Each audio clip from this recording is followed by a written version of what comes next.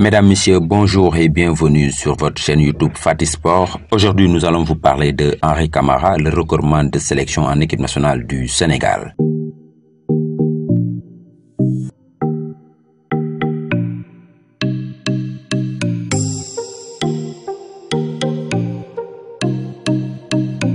Le football a beau être un sport collectif, mais chaque équipe a besoin d'une star pour imprimer le rythme au jeu et apporter cette étincelle supplémentaire qui peut faire la différence.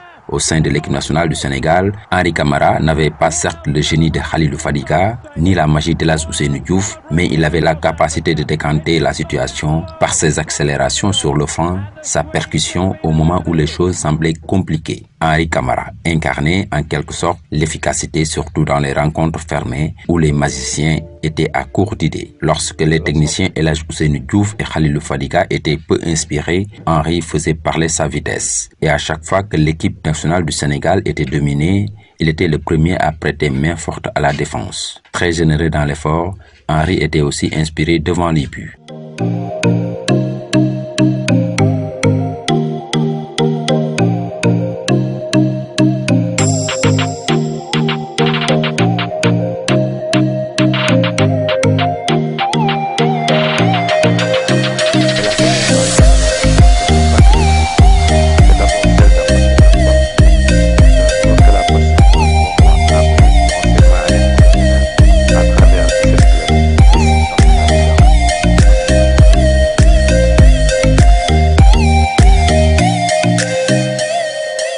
Les supporters des Latix de Wigan en Angleterre ou l'ailier des Lions du Sénégal a inscrit 29 buts en 73 rencontres se souviendront toujours de son passage au club entre 2005 et 2009.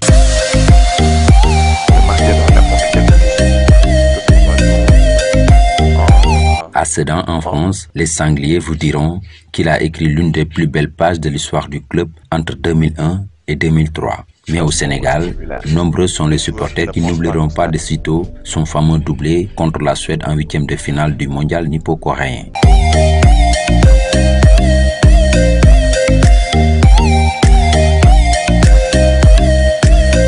Difficile, pour ne pas dire impossible, de réussir une carrière comme celle d'Henri Camara sans avoir une bonne hygiène de vie. Après le Giraffe de Dakar, Henri Camara s'est envolé en 1998 en France et c'est en Alsace qu'il avait déposé ses balichons pour débuter sa carrière de footballeur professionnel, avant de passer ensuite plus de deux ans en Suisse où il a évolué sous les couleurs de Neuchâtel Amax puis Grasshopper Zurich. Ensuite, il est revenu en France pour évoluer sous les couleurs de Sedan entre 2001 et 2003 où il a inscrit 25 buts en 65 rencontres.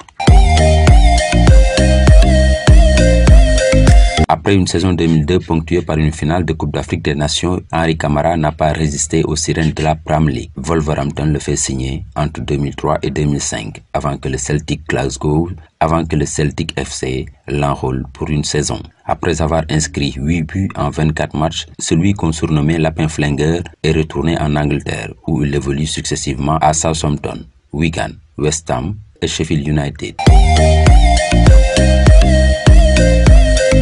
De changer d'air, de pays et de championnat a sonné. Et c'est en Grèce qu'il va poursuivre sa carrière professionnelle. Il évolue à Atromitos, Panetolikos, Kalonis, Lamia, Apollon et Ionikos. Au total, Henri Camara a inscrit 149 buts en 463 matchs entre 1999 et 2018 sous les couleurs de 18 équipes. En équipe nationale du Sénégal, celui qu'on surnommait Lapin Flingueur détient le record de sélection, 99 au total. Mais aussi dans la tanière, il a aussi manifesté une certaine frustration.